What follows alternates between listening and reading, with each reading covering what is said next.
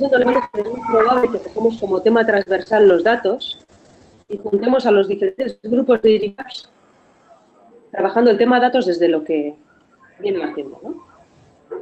Puede ser investigación ambiental y los datos. Entonces, si os animáis todas las personas, es probable, os iré comentando, que os podamos traer a todos y nos encontremos físicamente en el Qué loco.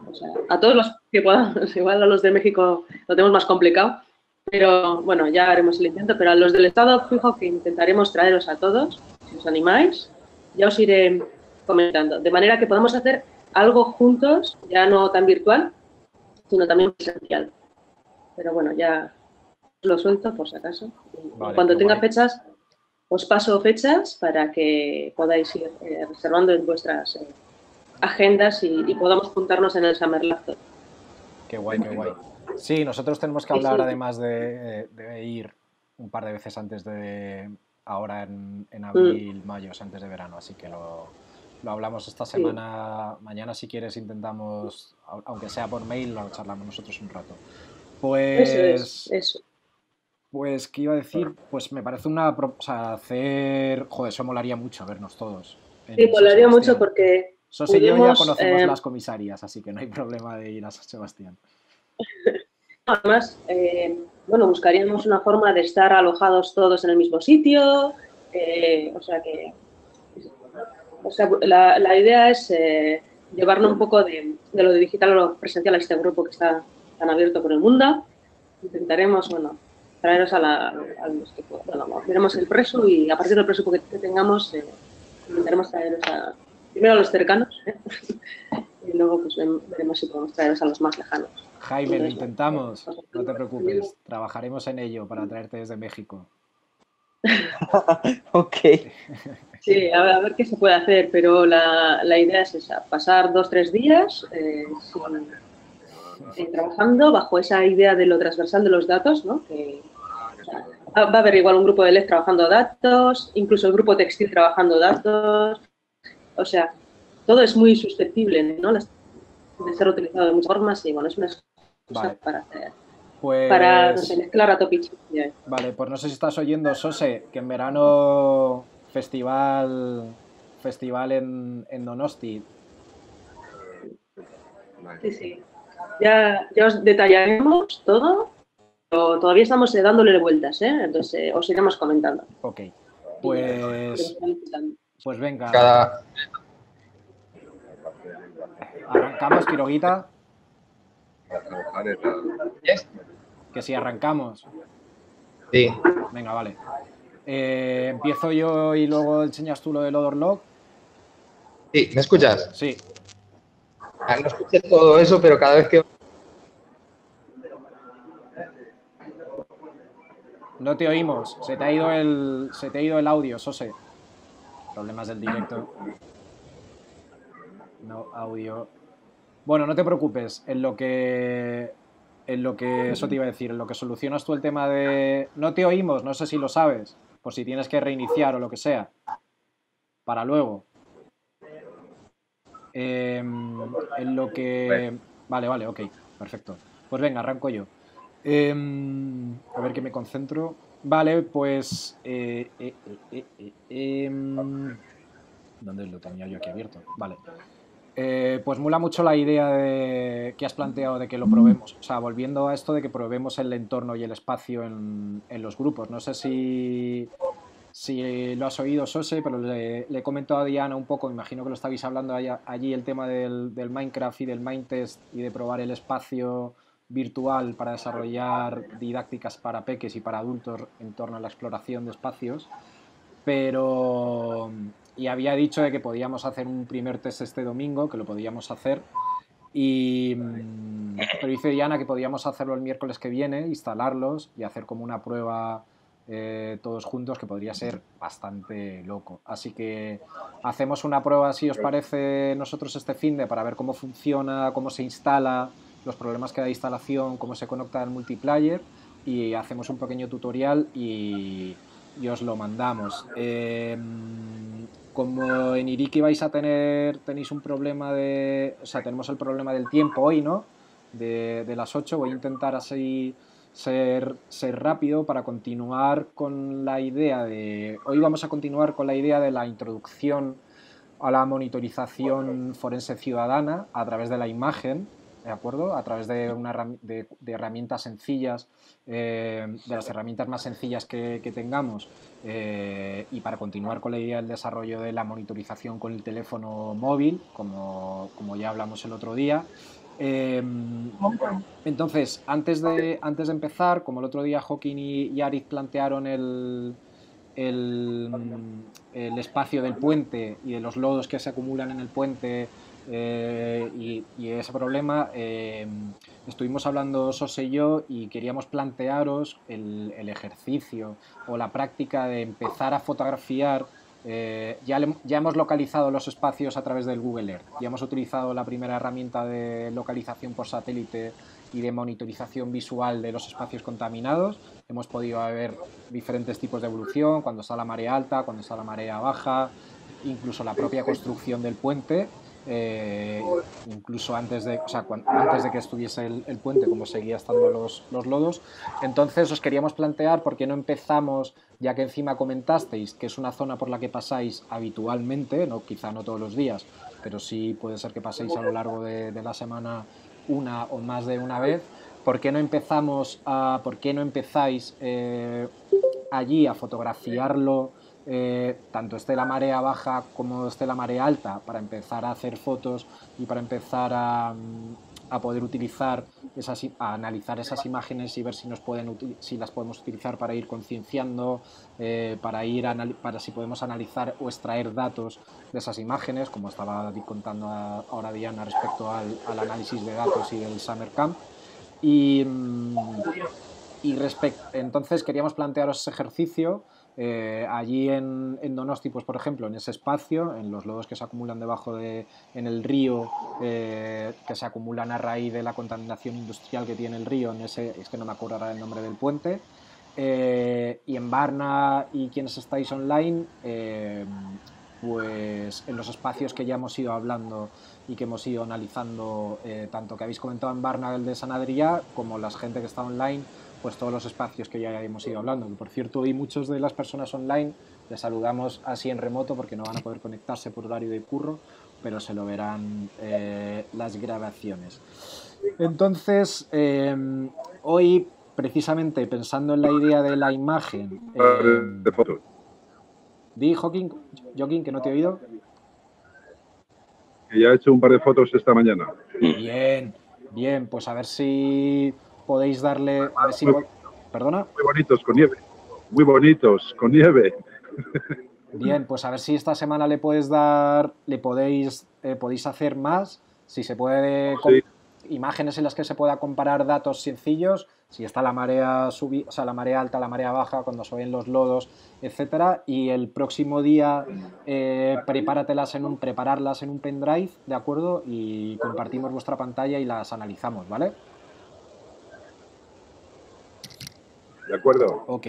Em, el otro día eh, hablamos de la idea de monitorizar para visibilizar, ¿de acuerdo? A través de como, como, como estrategia para, para, el desarrollo de los proyectos de investigación, ¿de acuerdo? Eh, encauzando, o sea, englobando el marco de la investigación. Joder, perdonar, que me está sonando el teléfono todo el rato. Em, bajando el marco de la investigación y del objetivo de nuestra investigación y en vez de llevarlo y de llegar hasta un juzgado, eh, dejarlo simplemente, que simplemente, pero que nada más y nada menos, en el ejercicio de la concienciación eh, colectiva, de la concienciación social desde un punto de vista micro, no tiene que ser algo macro, y hablamos también de que un ejercicio, una estrategia muy interesante es em, visibilizar en espacios de arte, visibilizar en espacios abiertos de tecnología, precisamente para aprovechar, eh, para aprovechar a la gente y para aprovechar esos espacios y el poder de concienciación que tienen esos espacios, para ampliar el impacto del, problema y para ampliar sobre todo las posibilidades de desarrollo de nuestro proyecto de, de investigación. ¿De acuerdo? Uno de los ejercicios activistas eh, más, eh, más extendidos que hay desde el punto de vista de la ecología es precisamente ese, el monitorizar para visibilizar y a través de esa visibilización eh, proteger esos espacios naturales, ¿no? En vez de mm, eliminando así también la batalla legal y la batalla con, las, con los espacios y con las empresas y con los organismos que están contaminando, ¿no? Por ejemplo, en muchos casos famosos así, ahora no, o sea, por no desarrollarlo mucho, que se me va la, se me va la pinza y no tengo mucho tiempo, eh, en vez de trabajar peleando contra las empresas que contaminan o en vez de trabajar peleando contra los, eh, los gobiernos que legitiman esas contaminaciones, puede ser mucho más fácil encontrar una, un una, una especie protegida, una especie que esté sufriendo esa contaminación, tanto de flora como de fauna, y a través de esos espacios de visibilización y de esos espacios de concienciación eh, generar espacios protegidos que bien no plantean la solución de la monitorización ambiental que nos interesa a nosotras en éticamente, que es el regenerar esos espacios contaminados, pero al plantear, el, al plantear los espacios protegidos, por lo, por lo menos detenemos los procesos de contaminación, ¿de acuerdo? Entonces, eh, eh, eh, en función de esta filosofía y en función de esta idea y de estas posibilidades de, desarrollo de trabajo, hoy os queríamos enseñar el trabajo de, Richard Mirrach, que es uno de los investigadores así más potentes para, pues para SOSE y para mí desde el punto de vista de la monitorización. Esperar que hago esto más chiquitito, que si no, no os veo y tengo la sensación, aunque vosotros no sepáis qué estoy haciendo, estoy haciendo más pequeño nuestro, nuestra pantalla. Eh, Richard Mirrach, que es un investigador, em, eh, pues para nosotros una de las personas más interesantes que hay dentro del punto del activismo medioambiental y de la monitorización y la monitorización medioambiental, ¿de acuerdo? Que a través de la fotografía y a través del circuito y a, través del circuito del arte y, del museo y de los centros de investigación y desarrollo de tecnología y arte, em, ha explotado esta estrategia de la visibilización eh, para la protección desde hace 20 años en, espacios eh, contaminados por el gobierno estadounidense y por programas del ejército del aire estadounidense en el desierto de en, los desiertos americanos de una forma brutal ¿de acuerdo? Entonces em, os queríamos enseñar este libro que es un proyecto que es un libro que se publicó en unas jornadas, en un, bueno, da igual, os queríamos enseñar este libro que se publicó por, una, por la Universidad de Almería en unas, en, hace varios años en unas jornadas de I+.D. en cuanto al desierto como territorio, en cuanto a la contaminación del desierto, pese a que es un espacio que supuestamente ya está muerto, ¿de acuerdo? Y, y es un proyecto que, que explora eh, el proceso y la idea de la contaminación, chicos, os silencio ahí en Iriki Labs hasta que, de acuerdo un poco, porque si no es loquísimo con el ruido que tenéis de fondo eh, concentrarse. Es un proyecto en el que a través de la fotografía y a través de fotografiar eh, espacios contaminados, ¿de acuerdo? Plantea esta estrategia que, os, que, os estábamos, que os estaba hablando ahora, el monitorizar para visibilizar y el visibilizar para proteger, ¿de acuerdo? Em, generando, también, em, generando también esa idea de la denegación de, eh, la denegación de petición de servicio, o sea, del, DNS físico, ¿de acuerdo? En vez de hacer una, una denegación de petición de servicio eh, online y generar, em, generar ese exceso de afluencia y de tráfico de datos para bloquear el servidor y para bloquear el, tráfico de un servidor, generar esa denegación de petición de servicio física, ¿de acuerdo? Primero utilizando las, eh, los espacios de I+.D. para, llevar el, para llegar al, llevar al público que sean conscientes de ese problema y luego a través de, esas imágenes y de esa interacción en ese primer espacio, eh, llevar al público al espacio físico, ¿de acuerdo? Para que si ese espacio está protegido y si hay gente que va a ese espacio protegido a ver lo que ha ocurrido, impedir por lo menos que se siga contaminando, ¿de acuerdo?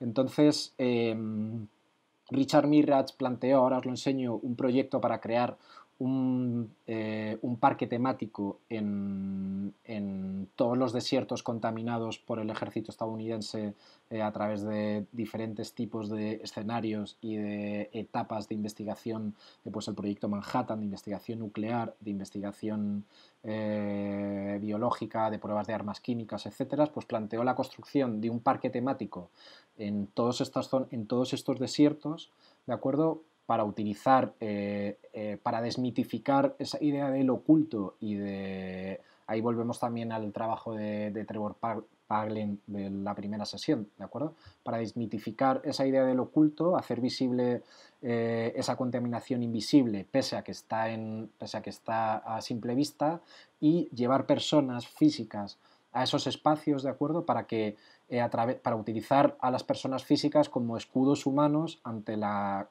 contaminación, que es una estrategia que bien hecha y en, entornos seguros es brutal, que de hecho de ahí, por eso habíamos planteado la idea del Minecraft, de generar esos espacios virtuales para, generar esos parques temáticos virtuales a los que podamos llevar a los peques sin que tengan que tampoco ir a espacios que están contaminados.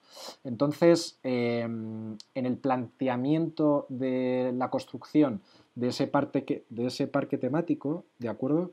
Primero, uh, ya me está diciendo esto algo raro. Primero él desarrolla este borrador, os pongo así cuatro imágenes súper sencillas para que veáis. Eh, solo las he encontrado chiquititas, me tenéis que perdonar, pero bueno.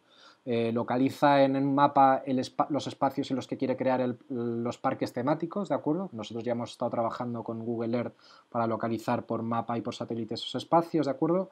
Luego genera esas arquitecturas conceptuales eh, y teóricas, ¿de acuerdo? lo que serían las atracciones del parque de atracciones, pero en vez de la montaña rusa y el tío vivo, pues las zonas de prácticas de tiro con armas nucleares, las zonas de, restos de armas biológicas, los restos de, vehículos y de arquitecturas que han sido destruidas por las prácticas de tiro de, los aviones, ¿de acuerdo? Y luego genera, pues, eh, esas notas, ¿de acuerdo? Y, se imagina y dibuja cómo serían esos espacios y cómo sería la interacción pues, de las personas que van a ese parque temático, ¿de acuerdo? En, las, en el que a través de esa visita a ese espacio eh, se plantea precisamente la, conservación del, desierto como, como, espacio natural y como ecosistema natural también sostenible y luego también se habla precisamente de, de cuál ha sido ese proceso contaminante, en este caso la guerra, que, es, que es también algo, o sea, que también es súper interesante. Entonces, como planteamiento de acuerdo em, real para este planteamiento teórico, él desarrolló durante 20 años este proyecto de investigación, de acuerdo, Cantos del Desierto. El libro lo voy a pasar rápido por cuestión de tiempo, pero el libro lo tengo entero reproducido, así que os pondré, os pasaremos el vídeo también para que lo podráis ver. Y, mm, plantea diferentes tipos de, o sea, hay diferentes, los, eh, el libro está, el proyecto está ordenado en capítulos y los capítulos, eh, en vez de capítulos, están llamados como cantos, ¿de acuerdo? Y cada canto hace referencia a una zona, eh, o sea, a una, hace referencia a una diferencia física dentro del espacio global del desierto, ¿de acuerdo? Como espacios didácticos que se podrían trabajar dentro de ese parque temático conceptual de forma independiente eh, y como espacios didácticos que se podrían desarrollar para las visitas. Eh, la tierra, el agua, el aire, la flora, la fauna, ¿de acuerdo? Entonces em, empieza trabajando el territorio, ¿de acuerdo? Generando una imagen general del territorio que hay que proteger, que es esa es una idea también, eh, para empezar en esa arquitectura de la concienciación y de la monitorización para, para la visibilización, eh, por eso os decía de, que, de insistir en las fotos allí, por ejemplo, en Donosti o en todos los sitios en los que vamos a trabajar. Si no tenemos, eh, si no podemos enseñar las virtudes de ese espacio, es mucho más fácil convencer de que que proteger un espacio por su belleza que concienciar a alguien de que hay que detener un proceso de contaminación, ¿de acuerdo? Entonces, primero empieza documentando y, fotografiando eh, los espacios característicos eh, y espacios de, dentro del espacio del terreno y dentro, dentro del terreno del desierto, perdón, y dentro del espacio del, desierto, ¿de acuerdo? Para llevar a la gente hasta el espacio físico, ¿de acuerdo? Y luego empieza, eh, con el siguiente capítulo, con el evento, empieza a documentar y, empieza, y nos empieza a introducir la vida que hay en cómo es la interacción eh, a través de los acontecimientos que hay en ese espacio, en el desierto, cómo es esa, interacción de las personas con el territorio, ¿de acuerdo? Y cómo, pese a que es un espacio muerto, eh, supuestamente como ecosistema, eh, aunque tiene su propia vida, tiene una interacción brutal y cómo eh, a través de esa interacción física las personas que están yendo a este espacio natural y a este ecosistema, al estar contaminado, se están, eh, están recibiendo, o sea, se están contaminando y están poniendo en riesgo su salud. ¿no? Entonces, fijaos, empieza a fotografiar espacios así loquísimos del, desierto y de, zonas en las que el ejército americano hemos ha hecho pruebas. Por ejemplo, estas, los, las marcas negras que hay en el suelo son, son rodaduras de, de los aterrizajes de los aviones experimentales y de los, ¿cómo se dice esto? Y del, del Challenger, de los transbordadores especial, espaciales. Oh, oh, oh, he perdido el control. Vosotros no estáis oyendo, ¿no? Que si no estoy aquí hablando no os veo y tengo la sensación de estar hablando aquí completamente solo. he perdido el control. Vale, ya vuelvo. Entonces, eh, fijaos, además fotones. No, aquí pensar en lo que hablamos el, primer día. No se trata de replicar tampoco em, eh, artísticamente de momento eh, estas ideas, o sea, estas fotografías. Ni se trata ni es el objetivo ni lo ha sido en ningún momento. La idea precisamente es que a través de, o sea, que utilicemos y utilicéis tanto la tecnología que tenemos en el bolsillo, ¿de acuerdo? Como la estrategia de trabajo, eh, la estrategia de uso voy a darle la vuelta para que no parezca que nos está patrocinando Apple. La estrategia de uso del dispositivo, con que, como, como os dijimos el primer día, con que las fotografías estén hechas en, vertical eh, y cumplan los parámetros de una fotografía forense básica, es decir, estén enfocadas, eh, estén bien encuadradas, estén bien iluminadas y, mm, y el suceso o el objeto que queremos fotografiar y que queremos monitorizar y convertir en una prueba forense eh, sea entendible, es suficiente. Luego la suma de fotografías y la suma de información en diferentes momentos la subida a la bajada del río, por ejemplo, como estábamos hablando ahora en, allí en, Donosti, ya darán los datos, o sea, ofrecerán la suficiente suma de datos como para que podamos hacer un análisis que sirva a cualquier persona que lo esté viendo para concienciarse o por lo menos para ser consciente de que está ocurriendo algo que, debería, o sea, que no debería estar ocurriendo, ¿de acuerdo? Entonces, eh, una estrategia súper interesante es eh, enseñar a la gente que hay un espacio que está contaminado, enseñarle a la gente o, hablarle a la gente de que ese, ese, contaminante tiene un impacto en su salud y luego demostrarle, de que, demostrarle a la gente que la gente está interactuando con ese espacio contaminado. De forma que ese silogismo que parece lógico de que si tú estás en ese espacio te estás contaminando, se hace real, ¿no? porque eh, eso es el primer problema al que nos enfrentamos cuando tratamos de concienciar eh, respecto a, los, a problemas de contaminación medioambiental masivos, ¿no? que los problemas, uno es el, discurso que tenemos en Madrid y en Barcelona respecto a la calidad del aire en la ciudad, ¿no?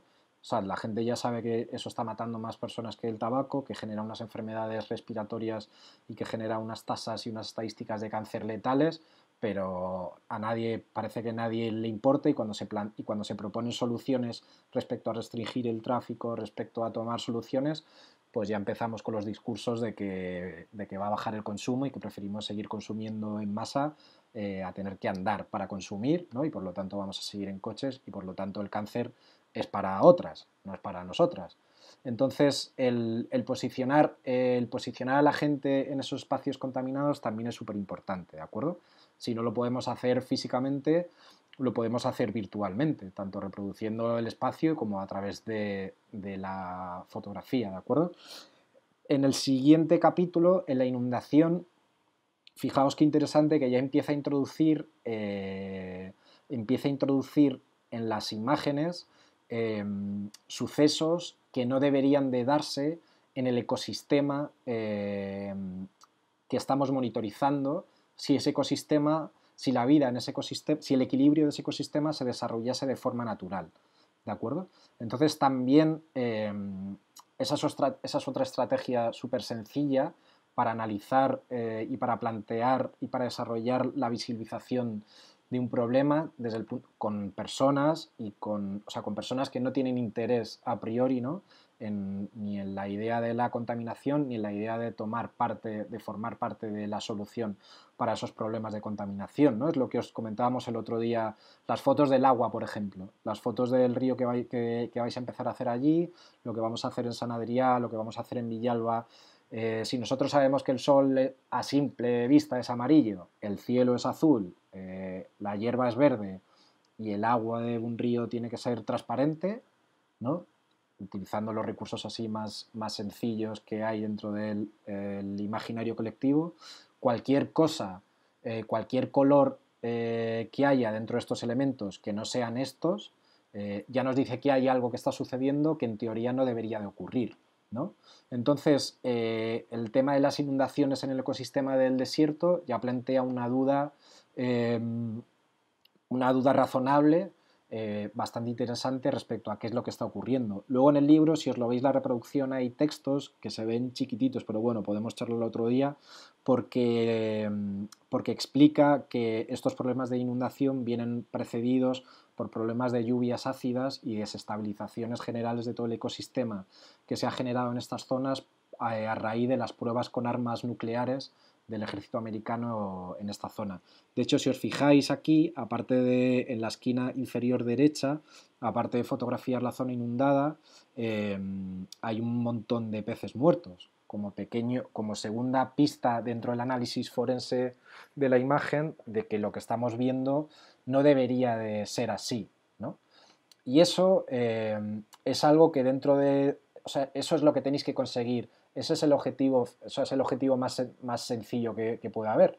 Y es, algo, es lo que os tenéis que concentrar cuando empecéis con las primeras monitorizaciones de imagen. Y es que podáis conseguir que las imágenes aparezcan cosas, pequeños objetos, pequeños patrones, eh, colores, eh, texturas, em, lo que sea que no deberían de estar si ese entorno natural se desarrollase sin esos procesos de contaminación. ¿De acuerdo?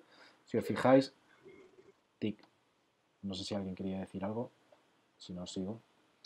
Eh, sigue, con la sigue con la parte de las inundaciones y fijaos, dentro de la inundación también lo que está fotografiando son zonas que están todas en ruina y que están abandonadas. ¿De acuerdo?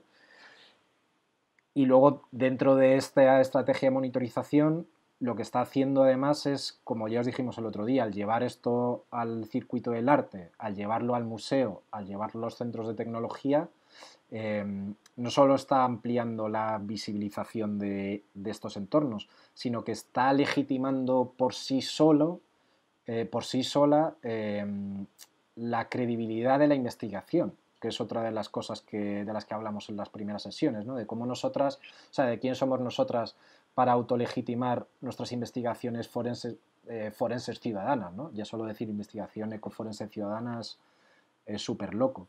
Em, si llevamos esas investigaciones a espacios que tienen su propia legitimización social em, y, hacemos que esas investigaciones sean visibles, solo el hecho de que masas de personas las vean y debatan y discutan sobre ellas, está sumando otra fase más eh, en cuanto a la credibilidad y en cuanto a, en cuanto a que si lo que estamos viendo es real o no.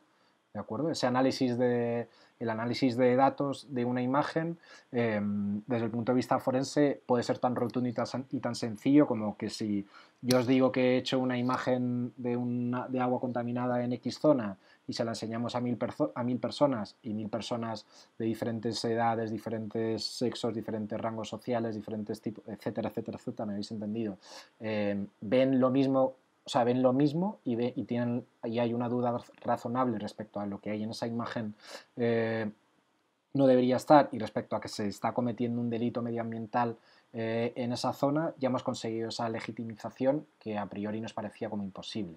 ¿De acuerdo?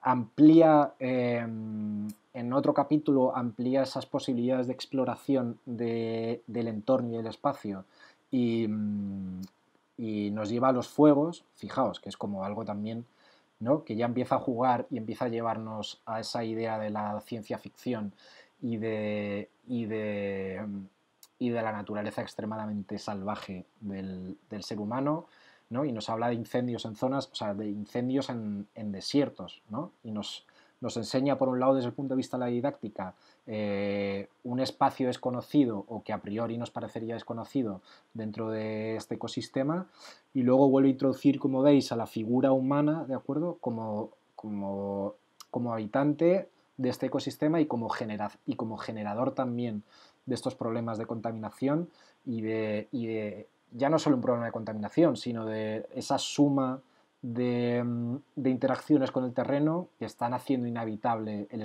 el único espacio que podemos habitar. No sé qué os parece, pero es brutal. Por ejemplo, esta foto es algo así como... O sea, faltan los cuatro jinetes del apocalipsis ahí así como en el fondo y ya está, se finí. Entonces... Em, ¿Esto cuántos son? ¿25 años de trabajo o así, no? Sí, es como un proyecto de 25 años de investigación en, diferentes tipos de... o sea, en diferentes, eh, en diferentes desiertos. Está en Nevada, en Mojave. Richard Mirrach es antropólogo, em, eh, da clases en la Universidad de Nevada de, antropología y de culturas nativas y este proyecto empieza, em, él lo empieza yendo a fotografiar y a documentar eh, terrenos de ancestrales nativos para visibilizarlos y para generar un mapa de... Em, eh, era, lo que querían era empezar a abrir como fosas comunes de sitios que estaban documentados en los que, en los que, se habían o sea, en los que había habido genocidios reales por parte de la caballería americana, no sé, en el 1700, 1800, creo que ya 1800, no me hagáis mucho caso de la fecha, no voy a ser estricto porque no tengo ni idea de realmente de cuándo era, pero bueno, de esa época, y empezando a fotografiar, eh, empezando a ir a buscar em, estos espacios y estas zonas, eh, se da cuenta de que no solo el problema se, queda en, se ha quedado en ese genocidio eh, cultural, sino que ha seguido por parte del ejército americano maltratando el propio espacio natural ya abandonado.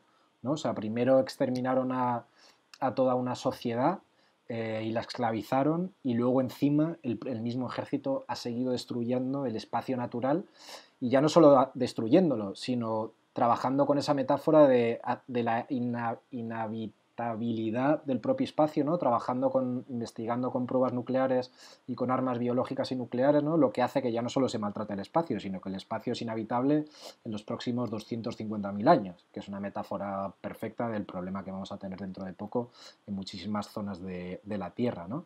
Y fijaos cómo Em, y aquí quería llegar a este capítulo, a la guerra. Fijaos cómo a través de esta introducción tan bella, ¿no?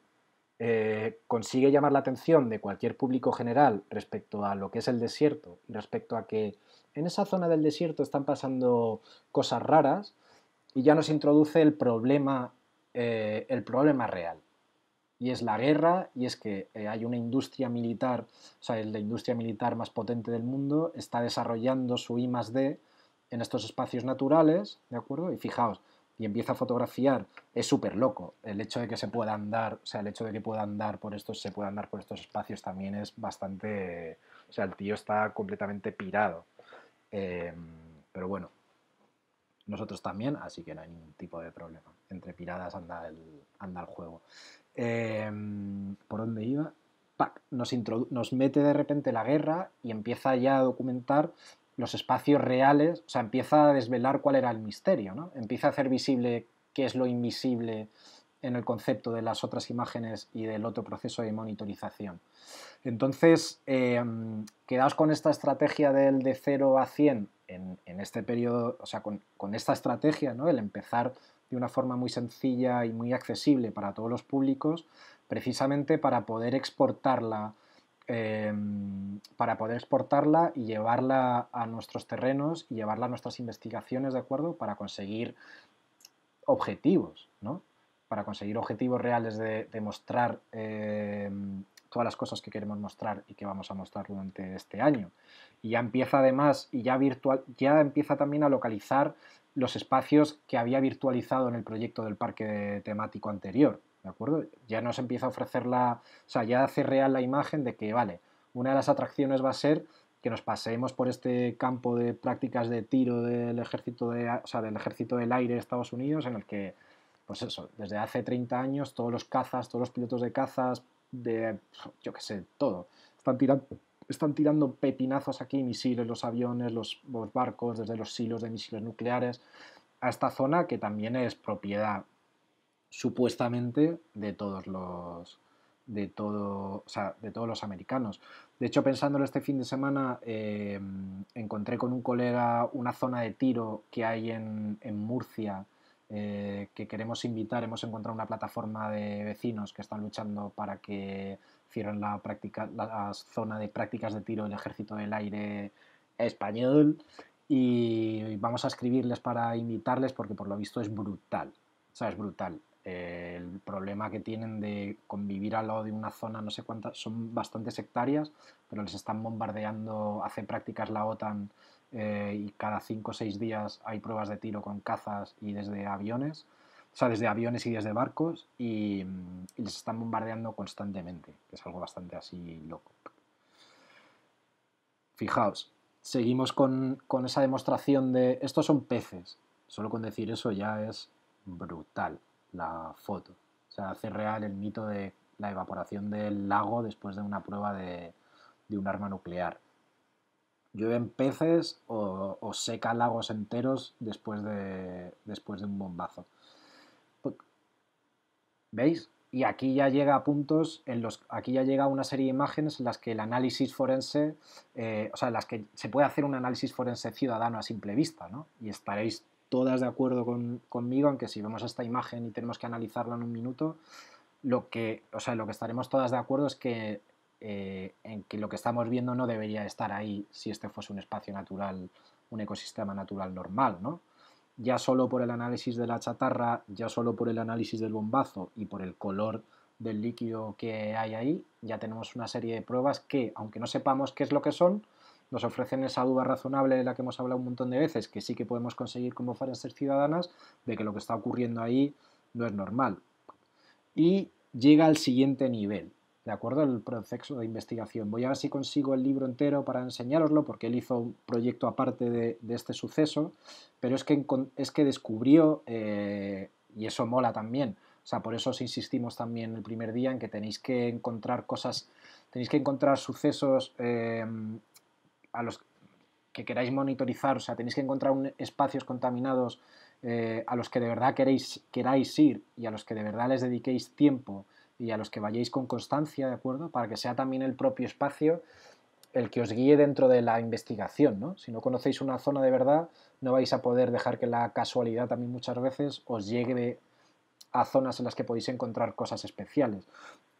Y él en este caso le pasó, después de 20, casi 25 años recorriendo los desiertos, em, descubrió que se había descubierto que, ¿cómo se dice las zonas estas por las que pasa el ganado, por las ciudades y todo, eh, los, caminos que están...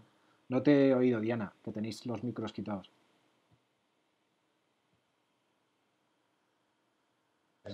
Ahora. Cañada. Las cañadas, eso. Gracias.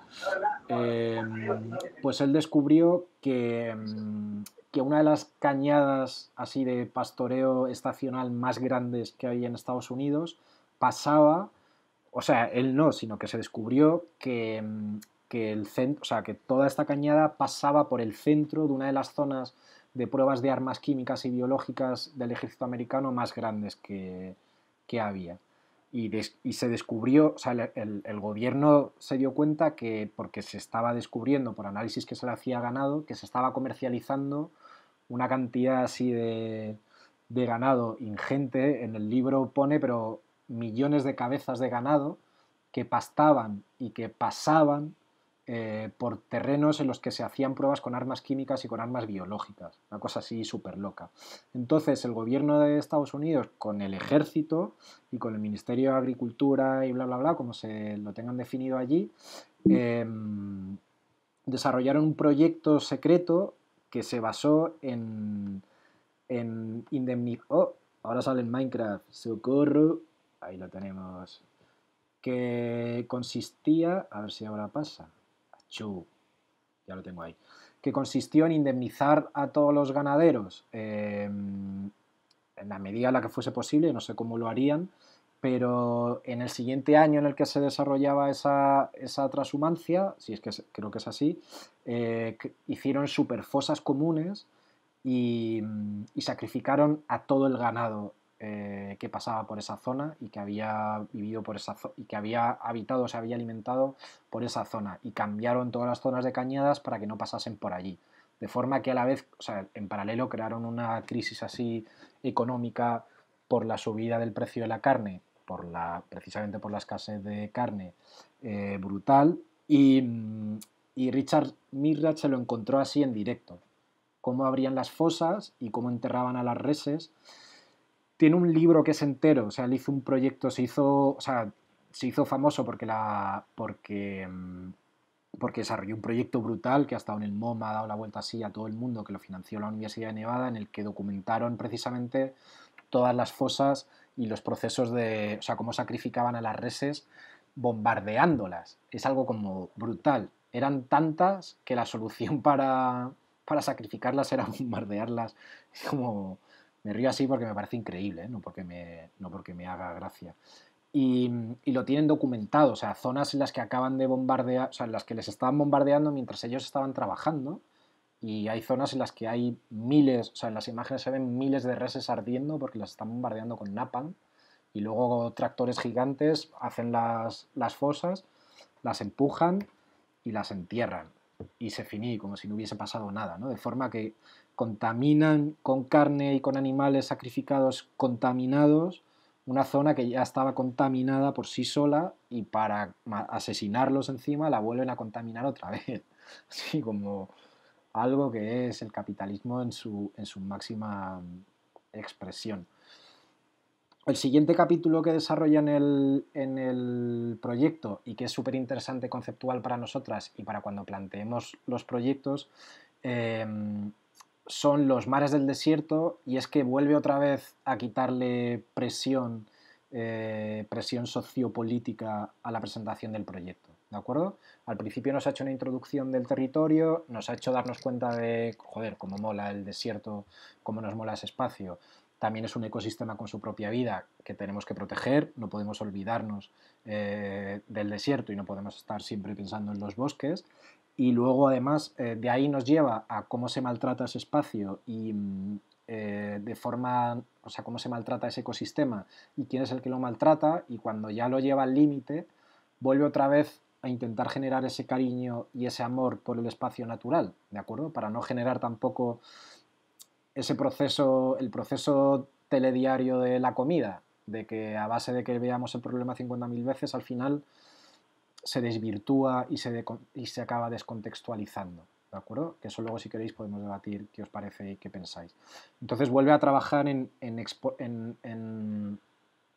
no sé cómo decirlo, en visibilizar la belleza de ese espacio eh, que hay que proteger, ¿de acuerdo? Si no generamos también ese vínculo de amor con el espacio natural, no vamos a poder, eh, o sea, no vamos a conseguir que nadie se preocupe porque, porque hay que protegerlo, ¿de acuerdo?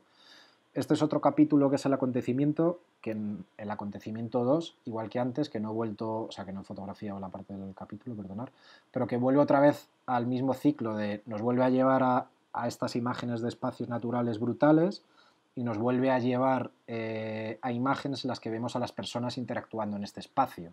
¿De acuerdo? Fijaos cómo mola bolos gigantes en el desierto. Em, no son juguetes, es que juegan a los bolos gigantes. En vez de empujar los bolos con las manos, tienen unas bolas así gigantescas y las empujan dándoles golpes con los coches en el desierto. Así como tienen todo a lo grande los yankees. Em, y, fijaos cómo vuelve otra vez a descontextualizar el daño medioambiental, introducirnos y a trabajar a través de, esta belleza en estas imágenes en la empatía de las observadoras de las propias imágenes. ¿De acuerdo? Tic. Y una vez ha vuelto a bajar el, límite, eh, una vez ha vuelto a despolitizar eh, la presentación del, del proyecto, vuelve otra vez a politizarlo, fotografiando los espacios físicos eh, en este caso son los, los, espacios en los que se desarrolló el proyecto Manhattan.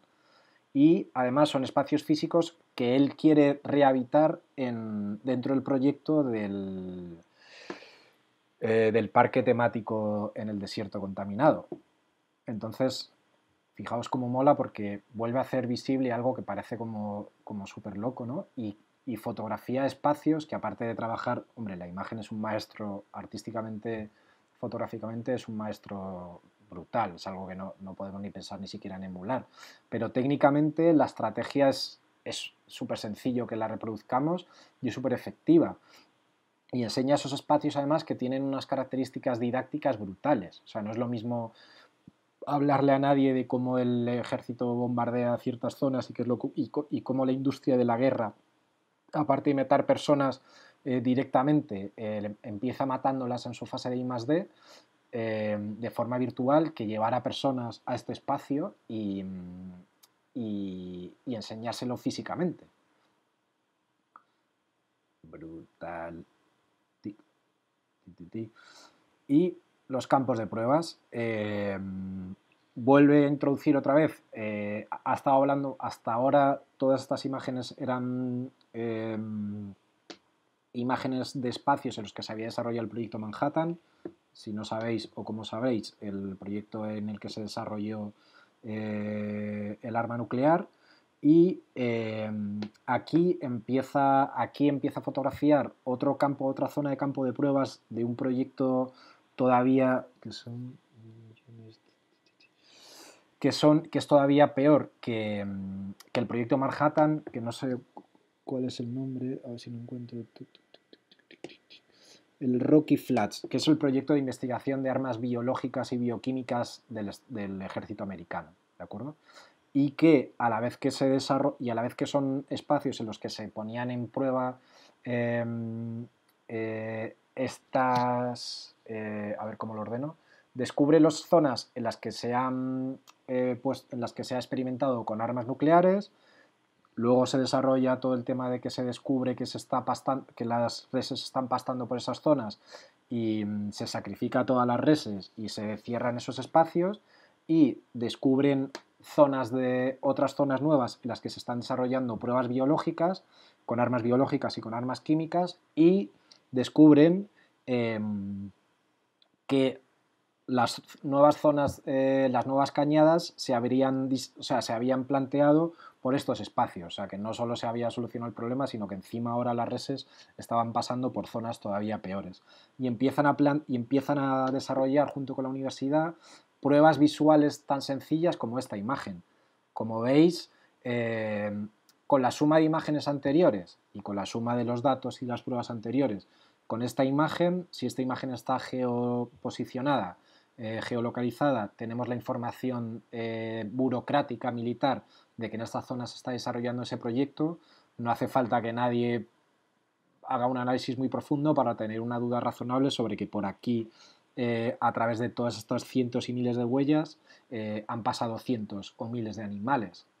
¿De acuerdo? Es así de sencillo el, análisis forense ciudadano es así de sencillo desde el punto de vista de la veracidad de las pruebas visuales. Seguimos pasando. Y aquí podéis ver unas primeras imágenes así que se ha hecho en la historia de la humanidad de la lluvia ácida. Empieza a trabajar con este tipo de, con este tipo de sucesos, ¿de acuerdo?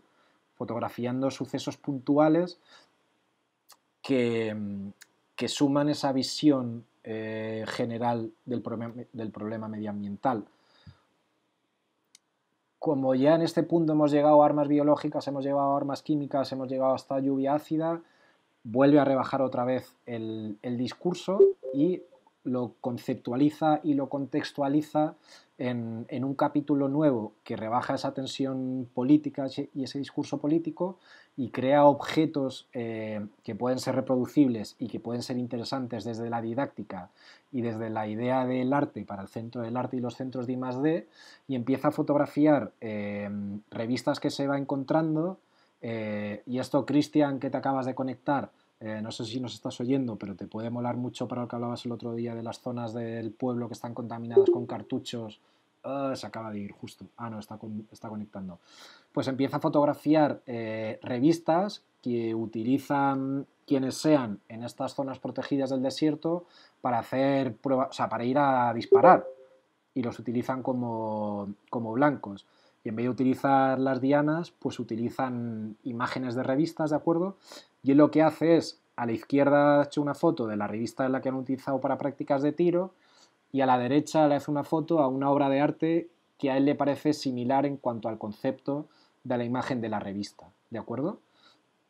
Y así está hablando de, las armas, del uso, de, del uso de, armas en zonas en las que no es legal, de la contaminación por el plomo por los cartuchos, de la venta de, o sea, desarrolla todo el, discurso de la venta de armas en Estados Unidos y además con este juego tan sencillo introduce este discurso en el museo y en el, y en el centro de arte, que es súper interesante. Fijaos, pues compara esta imagen de cómo han disparado a esta revista, este anuncio de Malboro, con esta imagen, eh, con esta imagen a este cuadro. Y ya genera ese análisis, genera un debate, genera una, eh, actividad didáctica em, que puede ser reproducible. Pues esta imagen con esta imagen. Esta imagen además es brutal. Con, con, con esta imagen. ¿De acuerdo?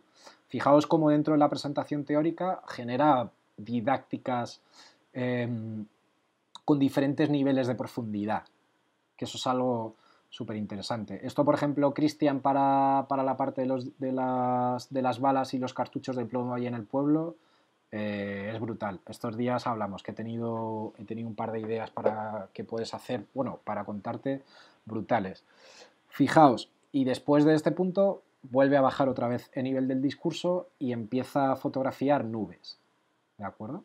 Para trabajar en, todos los espectros, tanto de los espacios del ecosistema del desierto, como en todos los espectros sociopolíticos eh, que puedan ver este análisis de este proceso de contaminación dentro del desierto. Y, empieza, y aparte porque él tiene una pedrada mental así guapa. y empieza a fotografiar nubes Em, de las nubes vuelve otra vez a los habitantes y empieza a fotografiar personas eh, que lleva a estos espacios, ¿de acuerdo? Como prácticas de la universidad y como prácticas, como, primeras virtualizaciones de lo que sería ese, ese espacio, o sea, ese parque natural eh, teórico, incluso gente pescando en los lagos que están contaminados, brutal. Aquí ya cuando hay niños en el agua contaminada ya la cosa cambia, ¿no? Y fijaos qué foto, es como... Primero hablaba de cosas bellas, luego hablaba de la parte de la contaminación, va jugando con ese ciclo hasta que de repente lo mezcla todo, ¿no? Y propone imágenes como estas en las que si unes los dos conceptos es como aquí ya no son las personas habitando esos espacios, aquí ya encima son las personas que van a heredar esos espacios dentro de esos espacios que además son hostiles por nuestra culpa. Está jugando, o sea, el, desarrollo de el desarrollo eh, psicológico y el desarrollo conceptual de la idea de la contaminación y de la idea de que tenemos que parar eh, nuestro modelo de vida y de existencia se podría resumir en esta imagen. De aquí vuelve otra vez a fotografiar espacios eh, desconocidos del, propio espacio del desierto, como las salinas, las texturas, el, paisaje, el propio espacio en sí mismo, para ampliar los conocimientos eh, técnicos que tenemos del ecosistema, los propios diferentes tipos de desiertos dentro de los desiertos, fijaos, simplemente con el color en función, del, en función de la tierra y en función del material del desierto, eh, los diferentes colores que tiene, vuelve a los cielos, ¿de acuerdo? Y ya fijaos aquí, había empezado hablando de, de, del desierto, pero empieza a hablar de contaminación y de pruebas nucleares y de repente nos lleva a un nivel de abstracción que es casi como Rothko, ¿no? Y aquí es donde su, su trabajo es maestro porque, por un lado, eh, a través de su estrategia lleva este proyecto a la universidad, de forma que lo convierte en algo didáctico y lo convierte en algo que es replicable, eh, y por otro lado lo lleva al MoMA. Lo que genera un nivel de, o sea, autolegitima eh, su propio proyecto de investigación y de monitorización visual. Una vez lo lleva al MoMA con este nivel de abstracción es como, ya da igual, que nos, ya da igual lo que nosotros veamos aquí o no, sino que al llevar esto a este espacio ha introducido, o sea, al llevar estas, estas dos imágenes al MoMA o todas las que haya llevado, el resto de la investigación va en el mismo paquete. Y en ese punto ya no es algo, su discurso ya no queda en silencio, ya no es algo que sea un loco que se va a pasear todos los fines de semana al desierto que está haciendo, sino que es un tío que por un lado está desarrollando esto un espacio didáctico universitario y por otro lado, hostia, es que está recibiendo la legitimización social de, de grupos sociales con muchísimo poder. Y eh, ya en el último capítulo empieza a fotografiar cuerpos celestes. Empieza a fotografiar con fotografías con larga exposición eh, los movimientos eh, estrellas, ¿de acuerdo? Que fíjate, Diana, que cómo ha conectado con otro de los, de los proyectos de Iriki Labs. ¿no? Y esto además está muy... Trevor Paglen, si os acordáis el otro día, en la primera sesión, cuando fotografía a los satélites espía que nos fotografían a nosotros, está haciendo esto igual, ¿no? Está fotografiando al final, en, estas imágenes, ya entramos en, ese discurso y en ese diálogo de que lo, que lo que os planteaba yo el otro día teóricamente, de, esa teoría de que, vale, tendremos, si queremos sobrevivir como especie, tendremos que abandonar la Tierra, ¿no? Y es como, bueno, tendremos que abandonar la Tierra para ir a destruir otro planeta. Es como quizá ¿no? hay que replantearse que o, si o nos aguantamos aquí o quizá lo mejor que podemos hacer es desaparecer aquí pero empieza a trabajar con la exploración del espacio y empieza a trabajar también con esa percepción de que, de que formamos parte de algo más. ¿no? Entonces, por un lado, amplía, amplía el, espectro de, su diálogo de una forma así brutal y por otro lado, joder, ya lo lleva a un nivel de belleza el discurso ¿no? y, a una y, y amplía las posibilidades de hablar sobre el proyecto y de que se hable sobre, sobre esto de una forma magistral. Nubes nocturnas, ¿de acuerdo? Lo paso así rápido el libro, veros el vídeo que os pasaré, o sea, que os pasamos con el con el libro reproducido porque es increíble. Y, eh, y aquí en homenaje a, su chica, pues hace una foto del, del techo del motel donde se han pasado los últimos 20 años pues yendo a ducharse después de los viajes de fin de semana ahí por el desierto muertos de polvo. Y hasta aquí Richard Mirrach. y ahora cojo aire, que creo que he batido el récord de hablar sin respirar de la humanidad. Muy chulo. ¿Qué os parece? ¿Qué, qué pensáis ¿Qué, habéis, qué sentís, cómo pensáis que estas, estas estrategias de monitorización, eh, cómo pensáis que las podemos exportar a nuestros trabajos? Eh, ¿qué, habéis pensado? A mí me da la sensación que es como una estrategia de confusión, ¿no? O sea, parece que se explica mucho la estética, ¿no? Pero se denuncia algo, entonces está, está bueno, yo creo que puede generar confusión, ¿no? No sabe, la gente es interesante cuando eh, muchas personas, bueno, por ejemplo, tienen eh, ciertos recelos, ¿no? A involucrarse en, pues, movimientos y este tipo de, trabajos a mí me da la sensación de que desde lo estético, porque las fotos están muy cuidadas, llevan a, al compromiso, ¿no? De, o a, la inquietud, ¿no? Igual, eh, Igual no, sin ser al principio consciente de todo, pero no sé, me, da esa sensación. Es como interesante.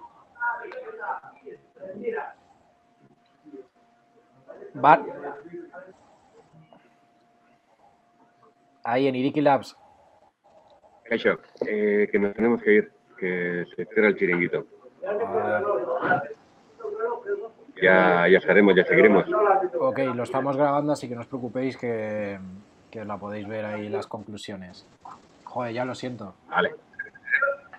Venga, nos vemos online el miércoles que viene. Vale, Agur. Agur, besos. ¿Qué, ¿Qué, os parece ahí, Barna? ¿Conectamos con Barna? Sí, ¿sabes? A mí me parece interesante. ¿Me oyes? ¿Me escuchas? Sí, tienes que ¿Escuchas? acercarte un poco. Sí. ¿Escuchas? Vale, guay. Eh, nada, eh, la verdad es que mola porque, bueno, yo viniendo del mundo siempre, ¿sabes? Como más científico, entre comillas, está guay ver que un trabajo así es, es otro plano de, a la vez, un trabajo empírico también, ¿sabes? No hace falta ser tablas con números, sino que también realmente un trabajo como este pues te puede llevar a, a sacar una serie de conclusiones claras. Bueno, es interesante, la verdad es que echar un ojo a, a este libro. Si- Bueno, si se puede bajar o si no, pues bueno, si lo envías o lo que sea, pero bueno, está, está guay. Lo tenemos pirateado, lo tenemos pirateado, no te preocupes. ¿Esto se puede grabar o hay que editarlo? No es pirateo eso, ¿eh? El formato que tenemos yo creo que es, No, porque- es la... No es pirateo porque si se usa en un espacio didáctico eh, es válido. Pero bueno, lo, lo tenemos reproducido en vídeo y si queréis eh, me lo decís por mail y os paso en un zip eh, las fotos, las que acabo de pasar yo también, para que en el vídeo se ve perfecto, pero para si las queréis tener también y el vídeo si lo, que- os lo queréis descargar os lo podéis descargar también, no hay ningún problema. Es muy interesante lo que has dicho Alejandro porque... em, Sos y yo siempre discutimos sobre esto. Discutimos, o sea, dialogamos, discutimos. Em, em, los números, las tablas, o sea, al final el dato empírico, eh, que es el dato necesario y es el dato relevante, eh, pasa, por un lado, pasa de ser desapercibido para las personas que no saben leerlo o o, parece tan complejo que hace que las personas que tienen interés eh, respecto a ese suceso eh, no, no- no quieran tener eh, acceso a esa información. ¿Sabéis lo que quiero decir? O sea, al final echa para atrás ¿no? y ya rompe el primer objetivo de la concienciación y de la movilización. ¿no? Y es que si no te interesa lo que está pasando, ¿de qué? O sea, no vamos a hablar de plantear soluciones cuando ni siquiera te interesa lo que está ocurriendo, ¿no? Y el dato empírico, que es lo que hablábamos el otro día, que tiene su propia legitimización, que no tiene que ser legitimizado, ¿no? Porque es ciencia, porque se puede reproducir y porque está analizado a través de unos parámetros, resulta menos, eh, o sea, resulta poco interesante muchas veces. Yo creo que con la suma de las dos llegamos a la, o sea, conseguimos un poder de la, un poder brutal. ¿sabes? Primero concienciando desde- con, con- con los sensores más sencillos, como decíamos el otro día, o sea, con los ojos, con la nariz, con las manos y con la boca, y luego cuando esas personas son conscientes de que ese problema es real, eh, hay que trabajar en esa lectura de esos datos también, en, en hacer accesible esa información para que también, sobre todo hoy en día, ¿no? que vivimos en una sociedad en la que la gente tiene tres minutos para leer un artículo, en los que en esos tres minutos eh, tengan una lectura accesible de esos datos para que realmente podamos captar su interés, que es un reto brutal. Supongo que la conclusión es, elige bien tu canal. Conoce, a- conoce a, tu- a tu audiencia y elige bien tu canal, ¿no? A través, de la cual, a través del cual quieres llegar a ella. Claro, pero si nos quedamos en, en la audiencia que... Si nos quedamos entre nos... O sea, generamos una endogamia dentro de las personas interesadas en hacer ciertas cosas. Y al Exacto. final no, no podemos plantear ningún tipo de solución. Y solo nos estamos hablando... O sea, estamos hablando solas al final. Porque yo ya sé... O sea, ap- apuesto a que si ponemos en común ahora las cosas que nos preocupan a todas aquí, las personas que estamos conectadas, tenemos las mismas preocupaciones, el mismo pensamiento sociopolítico, aunque hay algunas cositas que puedan cambiar un poco, pero, pero no me tienes que, o sea, a mí no me tendrías que convencer, me tendrías que convencer de muy pocas cosas de las que a ti te preocupan, de verdad. Y, y yo creo que al revés respecto a ti, si yo te tengo que convencer, ¿no? Entonces, es interesante que, que nos escuchemos y que desarrollemos ideas, pero en el fondo yo a veces me quedo triste porque pienso, estamos hablando solas. O sea, si no sumamos a otras personas, ni siquiera en, en micro, en, en problemas micro, vamos a conseguir ningún cambio.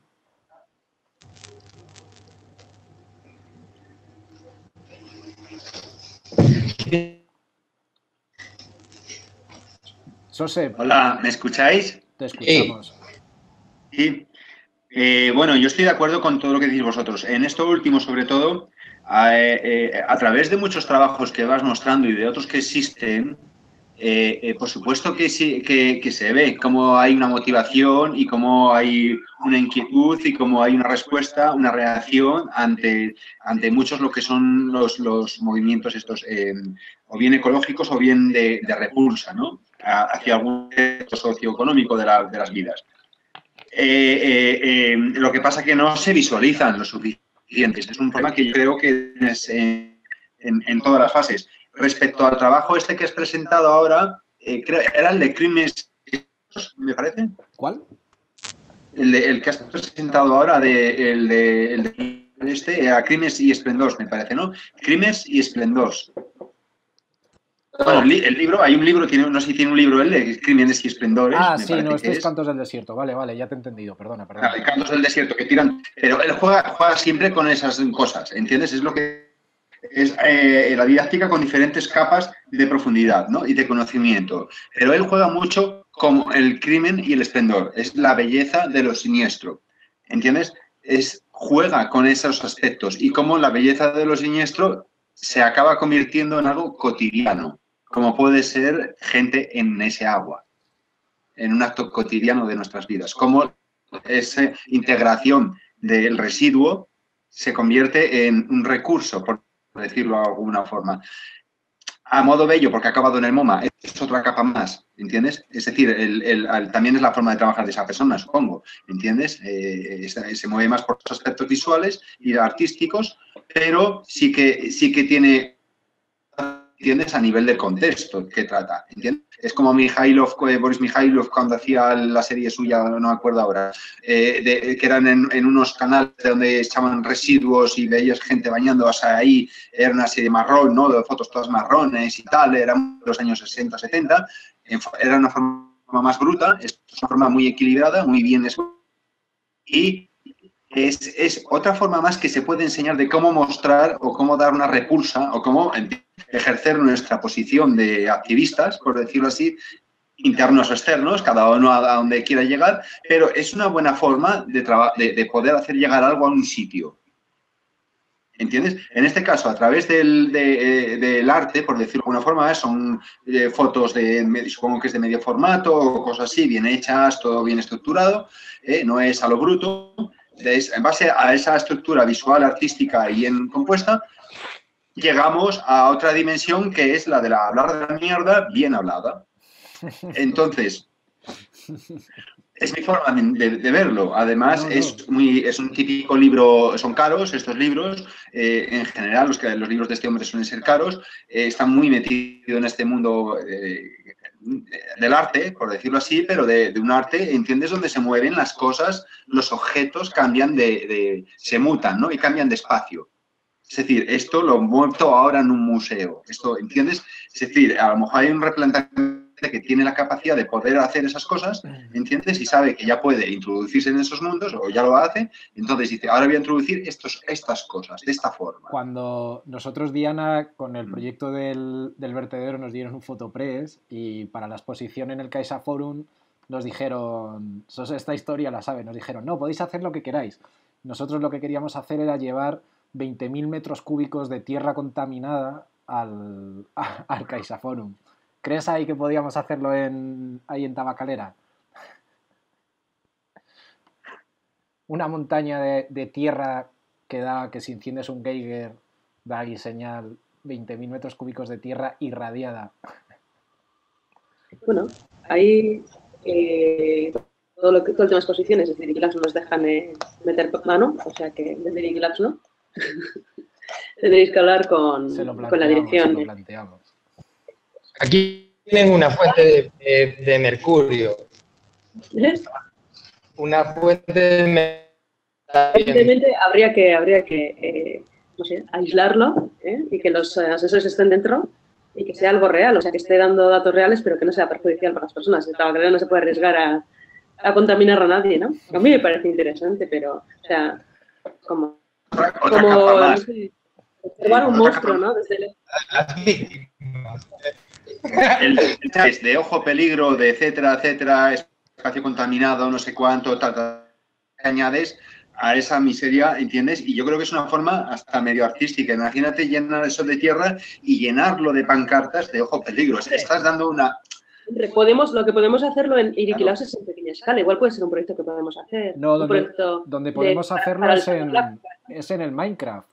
Y ahí ya, Ah, y ahí ya virtualizamos, o sea, podemos simularlo primero, ¿no? Podemos podemos empezar a simular y crear en, en, eh, Iriquilaos es un- en, en miniatura, ¿no? O sea, eso sí que lo podemos hacer Lab, un ejercicio de, de observar ¿no? la radiación y, generar como, yo qué sé, un cubo que tendría, tendría que tener ciertas características, ¿no? Con sensores dentro donde podemos observar la radiación. A mí esto me O parece un sea, flipe. ver... eh, Eso es. Esto me parece un flipe, o sea, que podamos reproducir lo que antes había que dibujar, que lo podamos reproducir primero en un entorno así virtual, que encima es un juego, me parece algo increíble. Pero bueno, para no liarnos con esto, eh, Sose, ready, Em, ver, pensando, tac, dejo de compartir mi pantalla, cierro esto, cerrar escucha, pestañas, es las 8 y 20. ¿el qué? Digo, son las 8 y 20. ¿Qué os parece si dejamos esto para el próximo día? Como ¿No? tú- Que están también los chavales de Donosti y, y cortamos aquí, porque si no nos vamos a ir hasta las 9 y Ah, vale, vale. básicamente porque estén allí los cuatro que son guerrilleras también. Y simplemente dejo el enlace aquí. Hemos hecho un- una tabla para, para llevar un diario de olores. Pon lo de que- eventos lo que lo enseño, aunque sea un momento, para que si lo quieren ver. Ponme el El enlace. próximo día lo vemos. Sí. Pensando en, en el uso de, como os decía antes, del ojo, de- o sea, de, de los sentidos como sensores básicos de monitorización ambiental, eh, y pensando en, trabajando también la idea de, visibilizar cosas que son invisibles, pensando en el olor, que al final es uno de los inputs de los sucesos de contaminación más, o sea, de los más primarios, ¿no? Cuando, tanto a nivel industrial como de forma biológica, cuando un ecosistema empieza a degenerarse, el olor, eh, sobre todo a nivel industrial, es lo principal. Eh, realmente no hay sensores de mal olor, ¿no? Al final la nariz, el, el ser humano, los animales, los insectos, sea, los seres que tienen, o sea, que tienen nariz o que tienen órganos que pueden oler, son los que pueden diferenciar eh, precisamente esa diferencia ¿no? de olores eh, y las características de los olores. Y hemos hecho, bueno, eh, se ha currado el, el SOS en Public Lab una tabla de, mm, para monitorizar olores brutal, brutal. Queríamos verla hoy, enseñarosla y proponeros que hagamos un ejercicio así todas en cada una de nuestras ciudades. eh, hacer una pequeña práctica de una semana para ponerlo en, pues para utilizarla, para subir los datos, para desarrollarla, ver qué se puede mejorar, cómo funciona, cómo no funciona. Y pues el próximo día empezamos con, empezamos con esto y ya está. Bueno, eh, te- o sea, tenemos que ser nosotros o pueden ser otras personas. ¿Se puede Otras compartir esto personas. en inter- Sí, claro, claro. Para, des- para moverlo. Sí, sí. Hay una, una, una sugerencia de actividad. En realidad no, no está, no hay, no hemos encontrado tampoco documentación sobre protocolos de, de monitorización ciudadana a través de la nariz. ¿sabes? Esta inicial que hacemos es, si los eventos son diarios, Mm. Con las vecinas del pueblo, del barrio, lo que sea, cuantas más mejor y cuantas más distribuidas mejor, evidentemente, ¿no? La longitud de, de- tiempo, ¿vale? Si son diarios, pues hacerlo por lo menos de dos semanas. Y si no son diarios, es decir, si el evento son semanales, pues ahí hay que ver y hacer un, un log más largo para que, para que dé tiempo a, pues a tomar acciones. ¿no? La idea es anotar todos los días. Bueno, lo tenéis ahí delante, ¿no? No sé si lo estáis viendo. ¿Lo estás enseñando, Arturo? No. Ah, Sí, sí, lo estoy viendo. Mierda. Ah, bueno, el enlace. tenéis ahí, bueno, lo tenéis cada uno. ahí. Vale, vale, perfecto. Eh, la cosa es eh, eh, anotar incluso, o sea, anotar todos los días aunque no haya eventos de malos olores, ¿ok?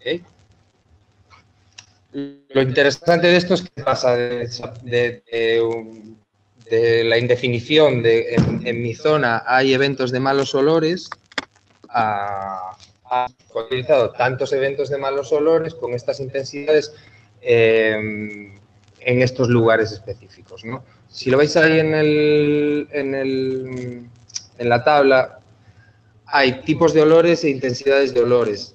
Esto remezclando el trabajo de otra chica del Public Lab que tenía estas variables. Nosotros lo hemos puesto aquí, hemos hecho una nota de investigación para que la gente nos dé feedback también y lo empiecen a usar y ver cómo usarlo mejor porque no lo hemos usado. entonces, a lo mejor esas, esas variables, esos valores, a lo mejor hay que poner más, ser más específico. Los olores que hay, hay una serie de ejemplos de olores que a lo mejor hay que poner más. De hecho, encontré un documento. Si po- el odor log, os recomiendo también que vayáis, hemos hecho esta página en la wiki del Public Lab de olores, ¿vale? Para recopilar todo lo que se hace, todo lo que se va subiendo en el sobre olores. Mm, Ahí hay documentos y hay uno con una tabla con muchos más tipos de olores, con la relación de qué puede ser lo que está provocando los olores, ¿vale? Creo que es el primero. Ah, wiki odor. Vale. El próximo día, si queréis, lo vemos con detenimiento. Ahí abajo hay unas recomendaciones también de aplicaciones para tomar los datos de temperatura, dirección del viento y fuerza del viento. Em, porque es interesante según donde sea. Por ejemplo, como visteis el otro día en el mapita de San Adrián, el viento viene siempre del mar, se encuentra con la, con la incineradora y luego ya está la si el viento está viniendo del mar, es seguro que toda esa zona de San está cubierta. O sea, que la fuente de los olores son esas, esas industrias, ¿no? Si viene del otro lado, pues no.